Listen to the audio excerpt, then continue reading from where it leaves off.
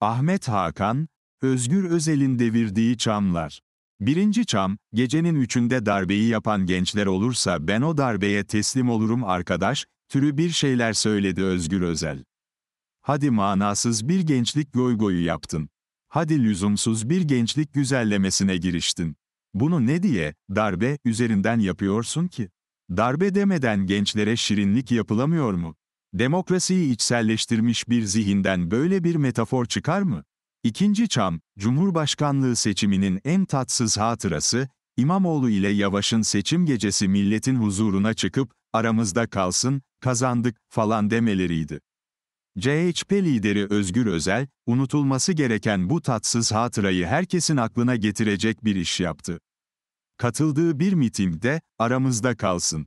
Sakın söylemeyin. Anketlerde öndeyiz ha. Çok iyiyiz, dedi. Macron'un boks fotoğrafına dair. Putin'in fotoğrafa bakıp, tutmayın küçük enişteyi, demesi kaçınılmaz. İkinci Napolyon olacaktı, ikinci Zelenski oldu. Bir insana hiçbir şey mi yakışmaz arkadaş? Putin'in yumruğunu yemeyen kendi yumruğunu balyoz zannedermiş. Zan, bizim memlekette herhangi birinin kahramanlıktan rezilliğe geçiş hızı, ışık hızından bile daha hızlı. Bakınız, Gökhan Zan, son dönemin 3 nefretlik tipi. 1. Eylem Tok. Trafikte adam öldüren çocuğunu yargıdan kaçıran anne.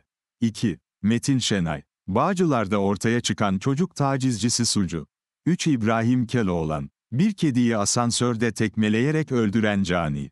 Haşim Kılıç ne mezunuydu? Anayasa Mahkemesi'nin yeni başkanı Kadir Özkaya, hukuk fakültesi mezunu değilmiş. Böyle bir şeyi ilk kez duyanlar, nasıl da şaşkınlar. Aman tanrım, bu nasıl olurmuş? Şaşıranları daha da şaşırtmanın zevkini tatmak istiyorum, Anayasa Mahkemesi Başkanlığı görevini uzun süre yürüten Haşim Kılıç da hukuk fakültesi mezunu değildi, İktisadi ve Ticari İlimler Akademisi'ni bitirmişti. Kürt diyor Türk diyemiyor. Tip Genel Başkanı Erkan Baş şöyle demiş, Kürt sorununu çözme konusunda Türkiye'linin muhataba ihtiyacı var. Tip olarak bizim hedeflerimizden bir tanesi barışın Türkiye'li muhatabı haline gelmek. Bu açıklamanın içeriğine hiç girmeden sormak istiyorum, Türkiye'li, bir üst kimlikse neden, Kürt, o kimliğin bir parçası olarak görülmüyor? Yani neden, Kürt, için, Türkiye'li ifadesi kullanılmıyor? Eğer, Kürt, denebiliyorsa neden, Türk, denemiyor?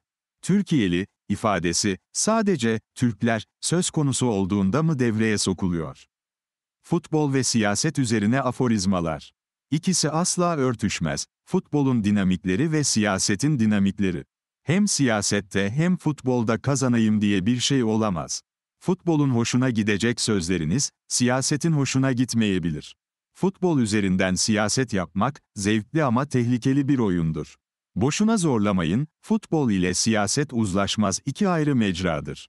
Siyasete meyleden futbol, kaçınılmaz olarak hayal kırıklığı yaşar. Duyunca kafamı çeviriyorum. 1 Nisan'da yeni bir Türkiye'ye uyanacağız. Sosyal medyada kazanıyoruz abi. Bu sefer farklı bir hava var. Bu seçim köprüden önce son çıkış. Aramızda kalsın kazanıyoruz. Tarihin en kritik seçimi. Malınıza sahip çıkın. Arnavutköy, İstanbul Havalimanı metro açılışı var. Cumhurbaşkanı Erdoğan, Ankara'dan video konferansla katıldığı açılışta şöyle diyor, buna da sahip çıkar. Bunu onun sahiplenmemesi için millete iyi anlatmak lazım. Murat, sahip çıkın. Malınıza sahip çıkmazsanız bu adamlar sahip çıkar.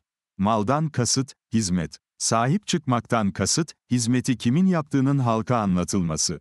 Neden bu uyarıyı yapıyor Erdoğan? Çünkü uzun bir zamandan beri İmamoğlu'nun kendi yapmadığı icraatı da sahiplendiğine dair iddialar var. İmamoğlu'nun Erdoğan'a verdiği cevap ise şöyle, bak, bak. Malınıza diyor. Bu milletin malı milletin. Oysa vermesi gereken asıl cevap şu olmalıydı. Ben başkalarının yaptığı hizmetin üzerine konmam. Nerede görülmüş böyle bir şey yaptığım? Sözün özü, biri A derken senin B demen iyi polemik yaptığın anlamına gelmez.